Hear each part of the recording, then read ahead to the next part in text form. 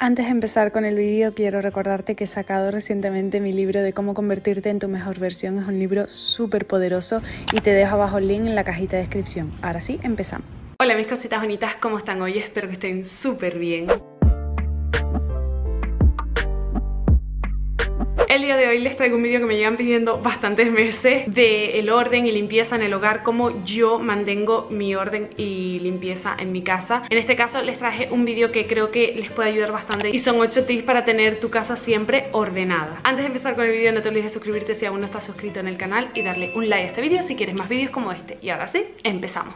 Tu misión sobre todo con el orden y la limpieza en el hogar es hacerlo tu estilo de vida, hacerlo una rutina. Porque si no siempre vas a tener desorden en tu casa y cosas que ordenar o siempre vas a esperar ese día a la semana para limpiar tu casa en el que ya está hecha una posilga. Sobre todo, esto tienes que tenerlo claro, hazlo, tu rutina, tu estilo de vida. Por ejemplo, yo nunca ordeno, ¿pero por qué? Porque nunca desordeno. La clave es siempre que se ensucia algo, siempre que desordenamos algo, es ordenarlo inmediatamente, es limpiarlo inmediatamente. Esa es la clave para tener siempre tu casa limpia y en orden. Yo les pongo mi ejemplo para que vean cómo una persona puede cambiar, porque si eres desordenada te aseguro que puedes cambiar. Yo era una persona súper desordenada, pero súper desordenada. Era limpiar lo que es mi aseo personal, pero en mi casa, buah, a mí me daba muchísima pereza limpiar, o sea, era lo peor para mí, era toda una batalla para mí. Y les aseguro que yo eso lo cambié. O sea, de ser una persona, y no les estoy hablando solo de la adolescencia, sino hasta hace algunos años atrás, unos 7, 8 años atrás, eh, era desordenada. O sea, yo era la típica persona que cogía algo, mm, no lo, corría, no lo ponía en su sitio, sino ya lo pondré. Y el ya lo pondré era una acumulación de cosas que al final lo veías y era un caos. ¿Por qué te cuento esto? Porque quiero que veas,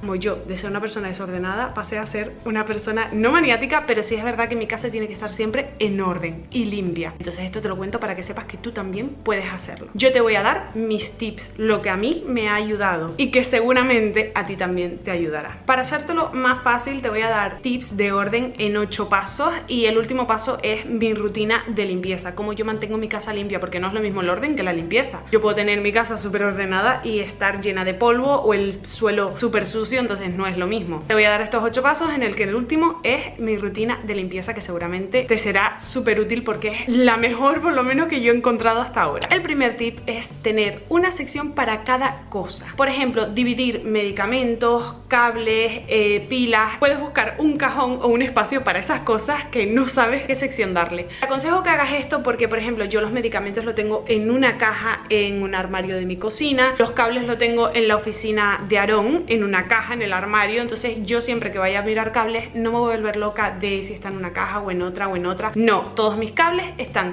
en el armario de la oficina dentro de una caja rosada. Entonces, al hacerlo así siempre vas a encontrar todo súper fácil. Empieza a hacerlo y verás que te va a ser súper útil. Actúa siempre al instante. ¿A qué me refiero con esto? Lo que les dije anteriormente. Cuando tú desordenas algo, ordénalo al momento. Por ejemplo, estás estudiando o estás trabajando en tu mesa. Cuando termines, ordénalo todo otra vez, vuelve a ponerlo todo en su lugar. No dejes todo eso hecho un caos. Ustedes no sé si lo saben, pero el cerebro al ver que algo está desordenado, te está mandando la señal de que estás procrastinando y eso no es nada bueno para ti, porque al fin y al cabo te vas a sentir como un poquito mal contigo mismo. Y es normal que mande esta señal porque al final es realidad, estás procrastinando, todavía dices, tengo eso por hacer. Y lo vuelves a ver dices, uff, todavía tengo eso por hacer. Y no solo eso, sino que, mm, por ejemplo, te comes un yogur en el sillón y lo dejas en la mesilla al lado del sillón. Llegas de casa y dejas el abrigo encima de la cómoda. Te pones a estudiar en la mesa, dejas todos los papeles, rotuladores y todo encima de la mesa. Eh, comes cualquier cosa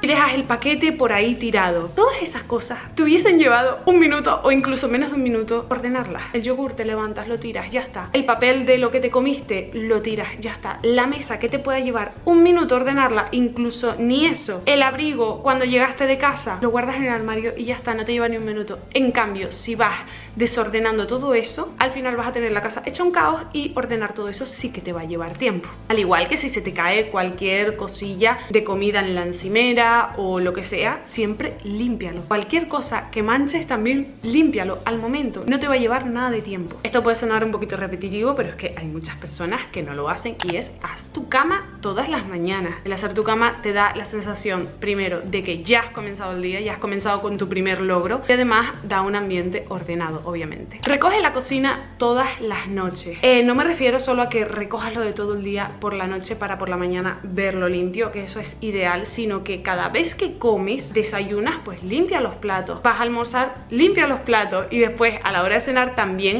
limpia los platos por la noche para que por la mañana lo veas todo ordenado y limpio. Es por lo mismo eh, que les dije anteriormente con las cosas que vas desordenando. Si tú lo mantienes ordenado, al final lavar tres o cuatro platitos no te va a superar nada. Ahora, si lo dejas desde por la mañana hasta por la noche, eh, te va a dar una pereza increíble lavar todos esos platos de una por la noche. Además de que tu cocina se va a ver desastrosa durante todo el día. Yo por lo menos es que no puedo, no puedo. Ven cómo he cambiado, he cambiado muchísimo. El tema lavadora, hay muchas personas que siempre ponen la lavadora justo en el fin de semana, ponen todo lo que tengan que poner y después a la hora de tender se te acumula todo. Y además que es como muy tedioso poner tantas lavadoras. Bueno, si tienes secadora, maravilloso, yo por lo menos no tengo. Pero para las personas que no, tienen, no tengan secadora como yo, mm, es un poquito tedioso. Entonces yo lo que hago es cada vez que voy viendo que se va llenando un poquito la cesta la ropa, pues voy poniendo lavadora según el tipo de ropa que más haya, si oscura, blanca, de, eh, de color clarito. Y no solo por lo tedioso que puede hacer poner toda la ropa a la vez, sino también porque si vas acumulando hasta el fin de semana, bueno, yo en casa porque somos solo dos, Aaron y yo, entonces no acumulamos tanto,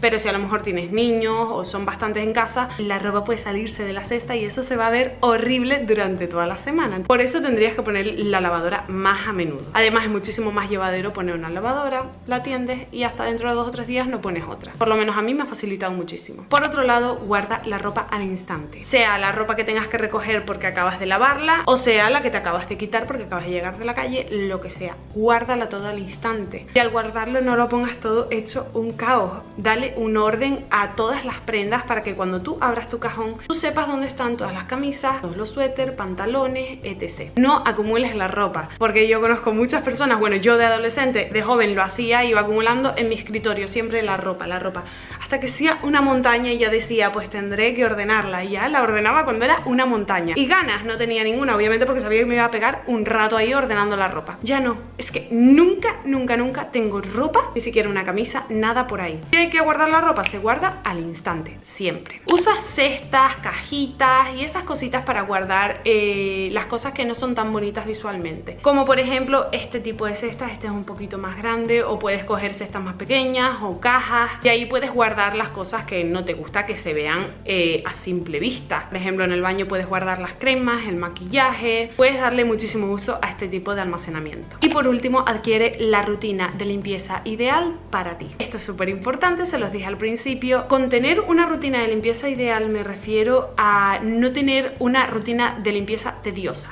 ¿vale?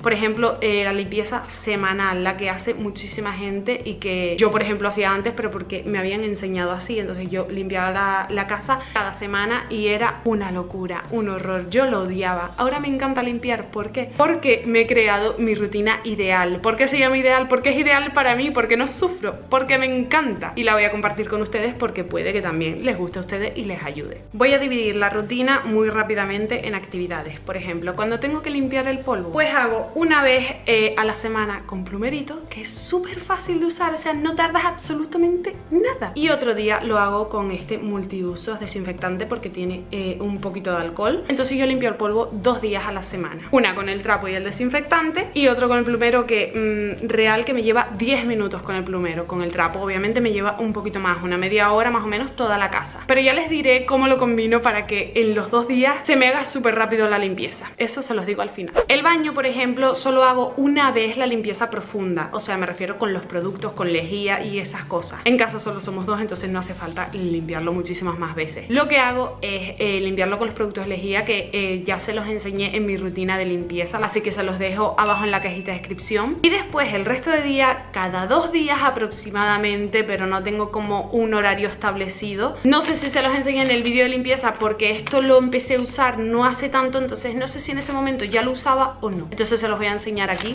Pero esto me ha solucionado la vida. Las toallitas de baño de Mercadona las de cristales, que esto lo uso cuando es mantenimiento del baño y después con la limpieza profunda si uso el limpia cristales de Mercadona que es una maravilla. Y para el váter pues uso el desinfectante este de Mercadona también porque los productos de Mercadona son maravillosos. Esto lo rocío por todo el váter y sí que uso el desinfectante cada dos días más o menos que es el gel con lejía en lo que es abajo en el váter. Entonces con esto mantengo el baño súper limpio toda la semana y después una vez a la semana lo limpio todo con lejía. En la limpieza del suelo eh, también me ha hecho la vida muchísimo más fácil tener una aspiradora que friega a la vez. Para mí es lo más maravilloso y yo te lo recomiendo muchísimo porque es una inversión en tu tiempo maravillosa, de verdad. O sea, no te puedo describir lo que a mí esto me ha cambiado la vida porque es que aspirar toda la casa y después fregar toda la casa a mí por lo menos me lleva bastante tiempo y ya el hecho de ir aspirando y que vaya fregando a la vez para mí, los que lo han probado díganmelo abajo en los comentarios porque estoy segura que están de acuerdo conmigo porque es que te ahorras tanto tiempo. O sea, yo no sé cómo yo no había descubierto esto antes. Entonces aspirar, aspiro dos veces a la semana.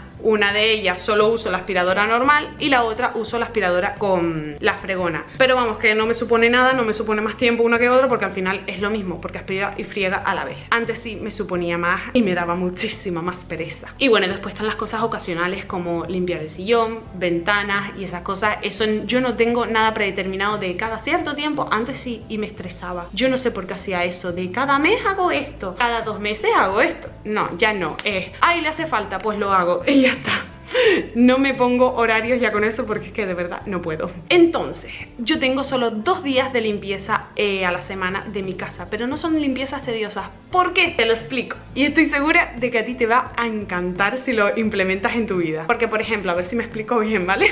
Es súper fácil de entender, pero no sé, a veces siento que no me explico bien. Cuando tengo que limpiar el baño en profundidad, como voy a estar más tiempo limpiándolo, el polvo lo hago con el plumero que estoy literal 10 minutos. Es que no estoy más porque tampoco levanto las cosas ni nada, porque es que en realidad no hace falta, eso lo hago cuando lo hago con este. Entonces estoy 10 minutitos de nada y le dedico más tiempo al baño. Y lo que es aspirar y fregar, pues ya saben, me toma el mismo tiempo que si aspirara solo. Y en los demás días en el que en el baño simplemente lo mantengo con las toallitas, pues uno de esos días limpio con este producto que tardo un poquito más y lo mismo, aspirar y fregar me lleva 20 minutos porque es que no es más. Entonces al final mi rutina se basa en súper poco tiempo y es súper llevadera, porque si yo hiciera lo del trapo del polvo con el producto, el baño en profundo, aspirar y fregar, si encima no tuviese aspiradora con fregona, pues sería muchísimo más tedioso, que eso es lo que hacía antes una vez a la semana. Yo ustedes lo probaría para ver si funciona para ustedes. Además, el hecho de dejar eh, la limpieza el último día no solo es